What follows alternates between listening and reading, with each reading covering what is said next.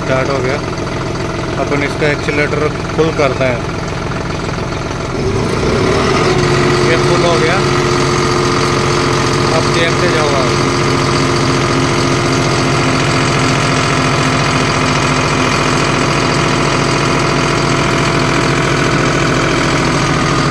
ये full RPM कर सके ये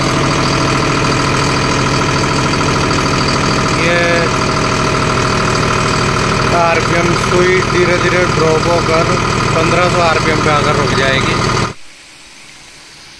इसकी समस्या का सलूशन हो चुका है। और से आपको स्टार्ट करके वही बताते हैं। ये देखो आरपीएम कर दिए हैं। देखो ये तिरपन दस का C R D I model है। नया मॉडल है अभी कुछ दिनों पहले ही लिया गया है। बारह तेरह सौ घंटे चला हुआ ट्रैक्टर है।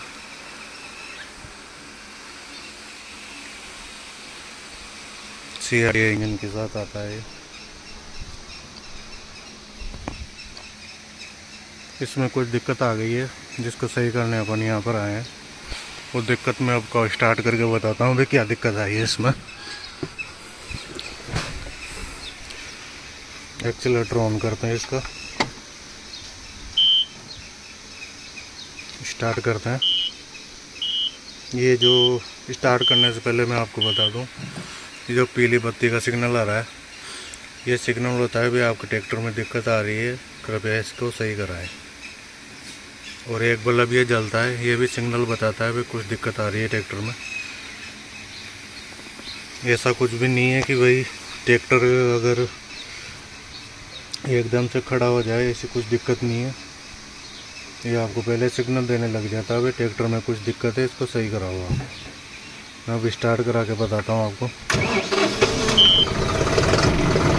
ये स्टार्ट हो गया। अपन इसका एक्सीटर फुल करते हैं।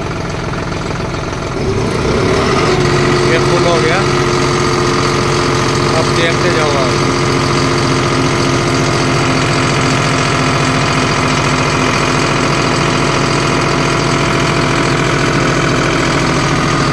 ये फुल आरपीएम कर सके ये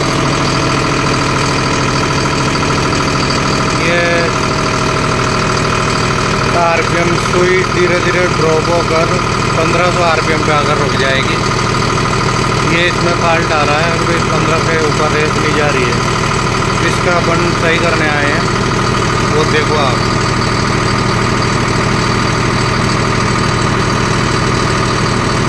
अब इसको चेक करने के लिए हम पहले इसका कोड निकालेंगे। कोड निकालने के लिए यहाँ एक बटन दिया गया हुआ है। इस बटन को प्रेस करके रखेंगे अब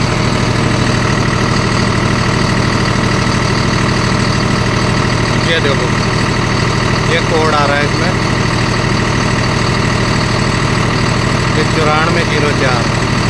इस कोड के ज़रिए अपन इसको सही करेंगे तो इस कोड को देखेंगे भी काय का कोड है और क्या दिक्कत आ रही है।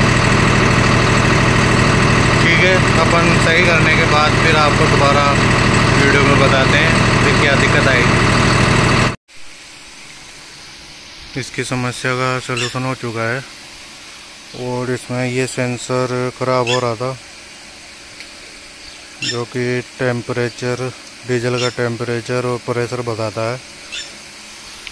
ये यहाँ फ़िल्टर के पास लगा होता है ये सेंसर ये वाला अपन ने निकाल के हटा के नया लगा दिया है।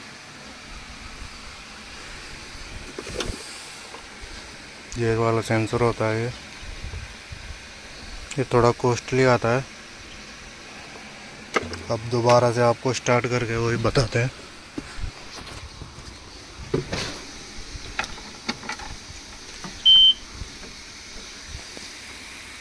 ये सायरन की आवाज़ भी नहीं आ रही अब इसमें।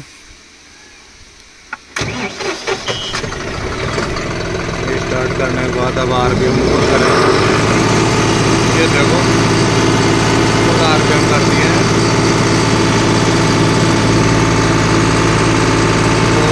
चार ग्राउंड रोक वेट नहीं है कोड निकाल कर देख लेते हैं